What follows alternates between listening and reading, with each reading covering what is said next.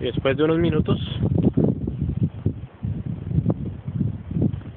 Ahí quedó hecho un muñequito de nieve.